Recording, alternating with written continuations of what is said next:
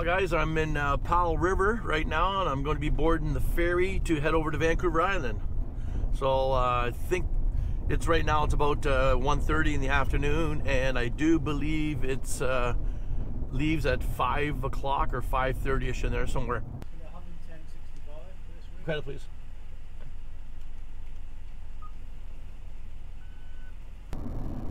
So I'm in Port Alberni, and I uh, did the usual thing you have to do every week, week and a half. That's laundry, and uh, so at the same time I uh, went to um, Anytime Fitness, took a shower, just cut down laundry, picked up some wood, um, got some food,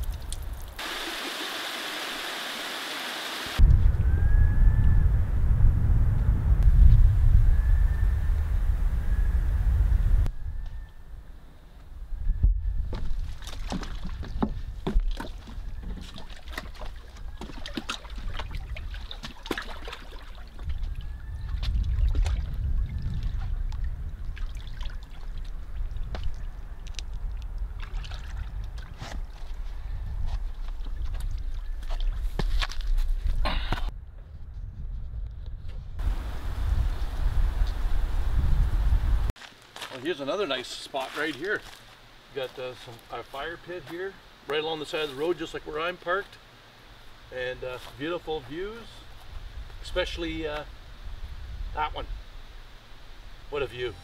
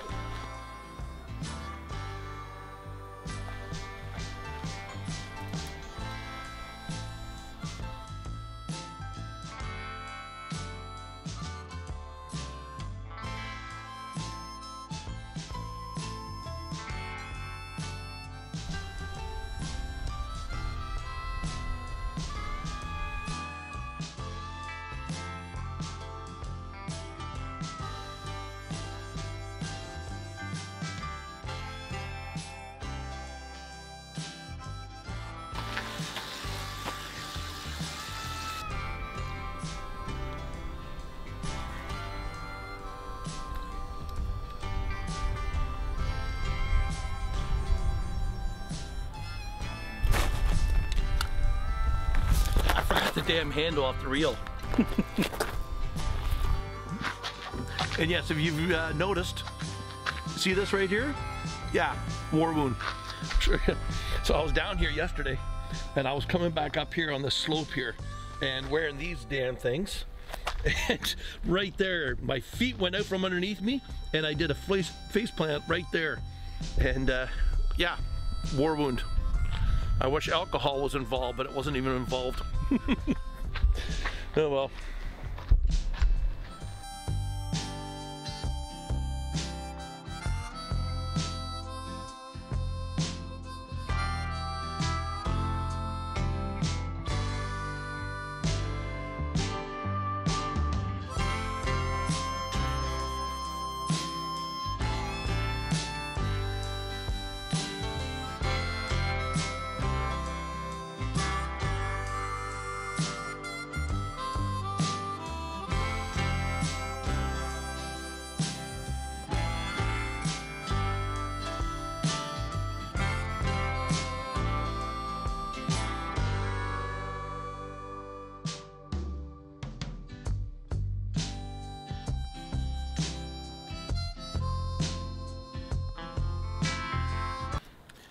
Here we go, boys and girls. Look at this thing. Beef rib. So I uh, took the skin off the back, which you've probably seen. And then I have a barbecue rub. Then I did Mrs. Mrs. Dash's and then garlic. So I brought it up to room temperature. Oh my God. Look at that piece of meat, guys. Look at that. Is that not absolutely stunning? Gonna get that down a little closer to the heat. That's about as far as I want to go. Oh, and uh, by the way, thanks uh, the Fire Pit Forge, yeah, and the Fire Pit Forge. Look them up, guys. I've already done a video on this stuff. Well, there you go, guys. That guy that just left there, he just uh, look at that. See, this is what I'm talking about. Good people. He just stopped and he goes, "You want some extra wood?" I said, "Absolutely." So there we go because uh, I was telling them five bags. So four bags of this and then one bag of the kindling, which they still count at the same price, was $90. $90 at the Petro-Canada station in Port Alberni. Can you believe that? Anyways, that was real nice of them to stop and uh, see if I wanted it.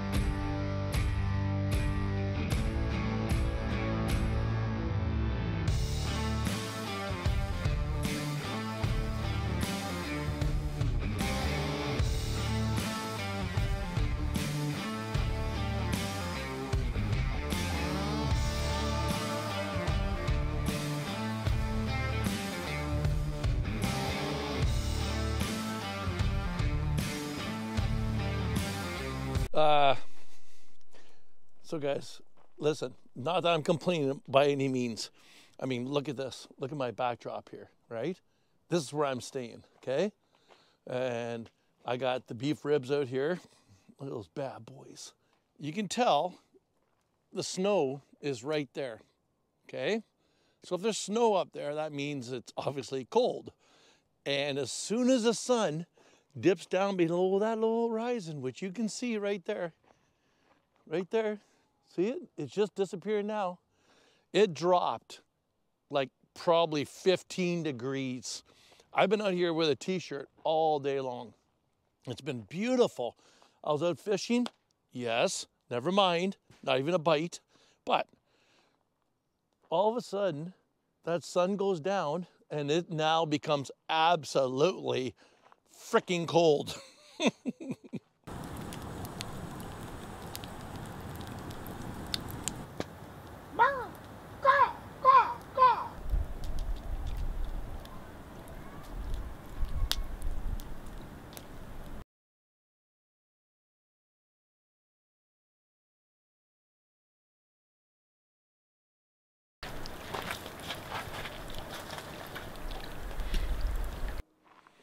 All right.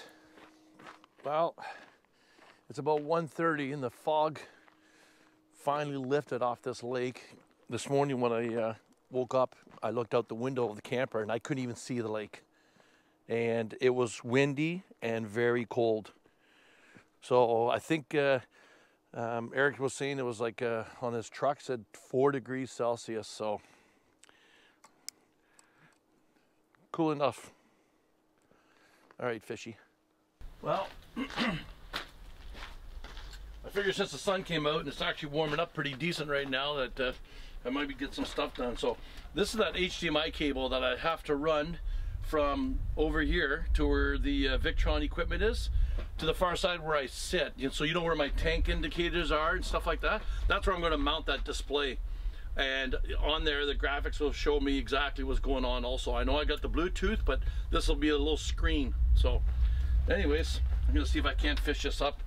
Um, when I when I fished all the other lines up there I should have left a, a stringer or something but I think this actually might work pretty good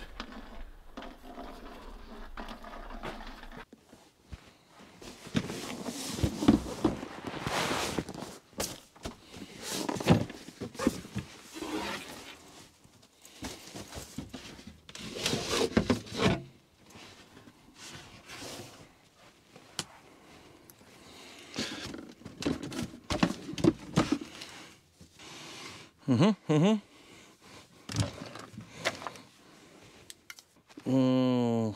All right, I forgot about that. I forgot about that. I gotta get up, up through that hole. Oh boy. I totally forgot about that. There's actually a hole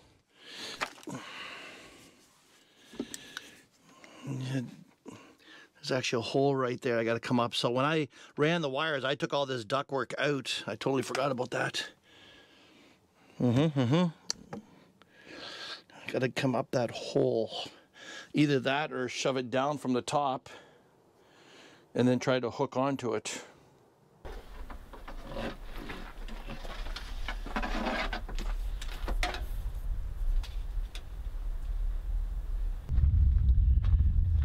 What do you think? Should work.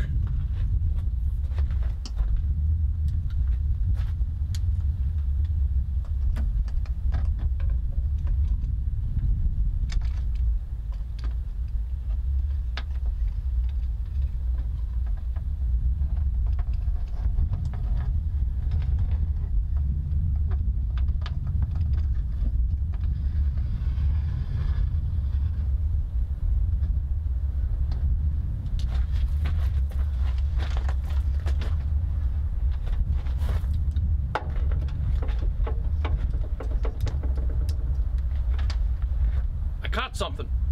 Finally.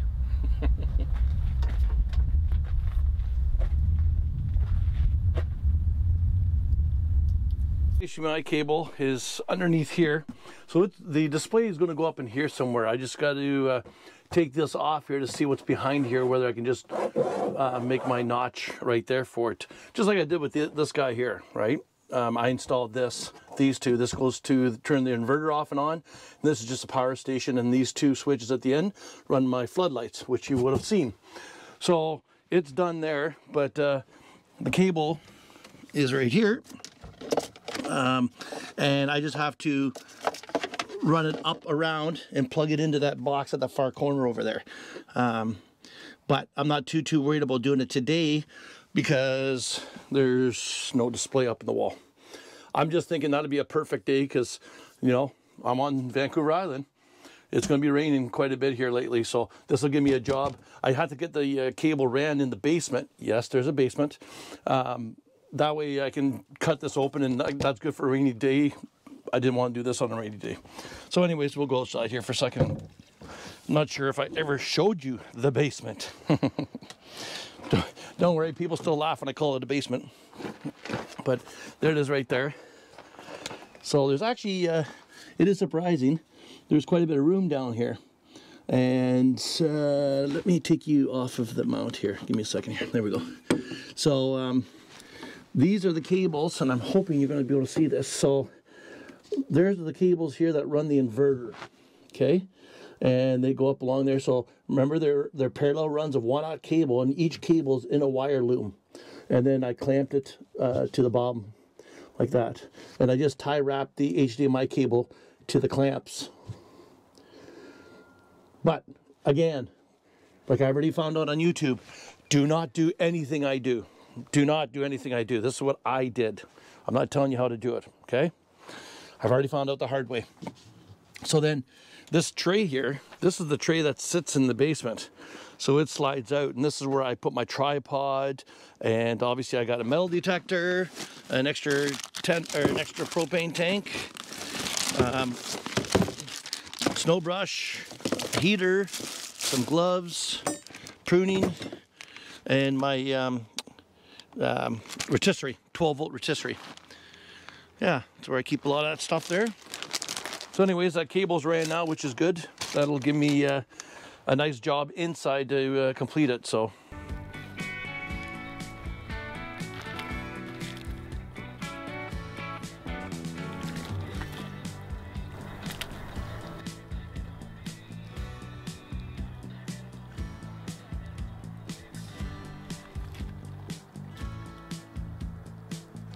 All right, guys. So if you if you've been following me, you already know that yes, I'm cooking, and yes, it's gonna be pitch black before I'm done. But so I got the uh, the grill all getting uh, warmed up here.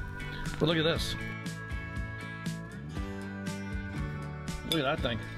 So I'm gonna cook that, and I know I just noticed that these wings have been in my fridge now for about three days now, so I think I, I gotta put them on. But I'm also going to have another piece of the ribs. That's what's left over from last night's supper. So I'm to warm them up, and then I got a small piece of chicken. So you saw me the other day cooking up that chicken, so I'm to uh, um, finish it off. It's actually 5 p.m. right now, so it's not to take long here before uh, it gets totally darkness. And like I said, you guys already know I'm to be cooking in the complete blackness here, but that's how JJ does it, right? Anyways, another beautiful day. Okay guys, there we go. Does that not look fantastic? There's a beautiful trout. It looks like the trout's going after a chicken wing right there. Oh yeah. So uh, that is going to be some good eating right there. Look at that. Guys, does it get any better looking than that?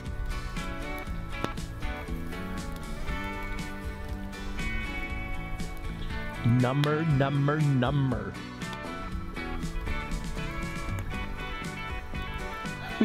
that is pretty cool. It does look like that fish is going after that chicken wing. I like it. That's going to be the thumbnail, actually.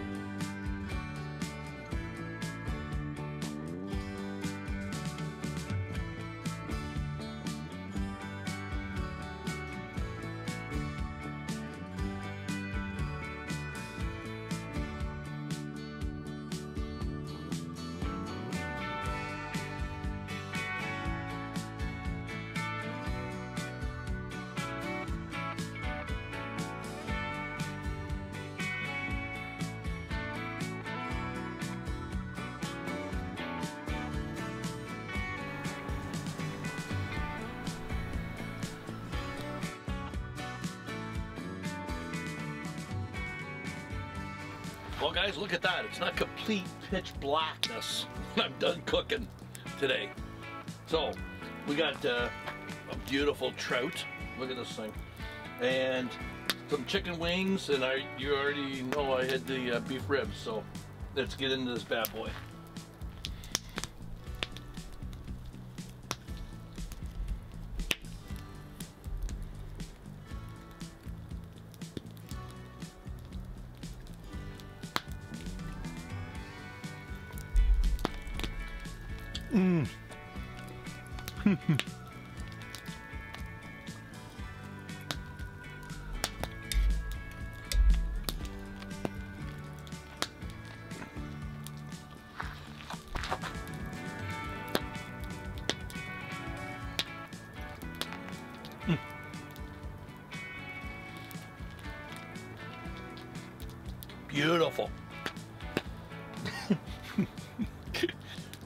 People would eat a fish like this or eat fish at all? Again, my sister, Jackie, she would lose her bananas right now.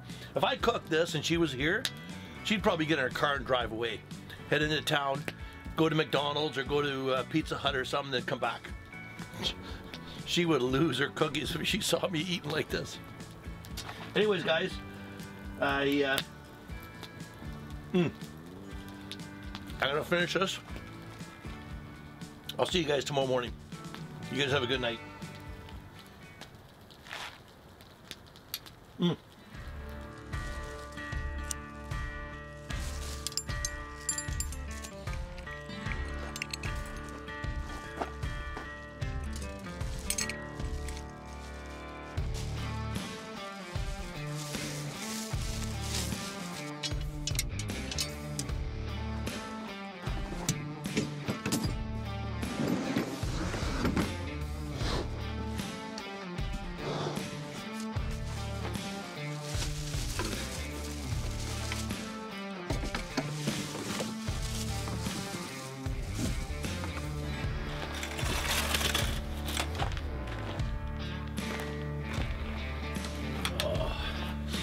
Well, guys, that's it for uh, Sprout Lake. Uh, it's my fourth day here.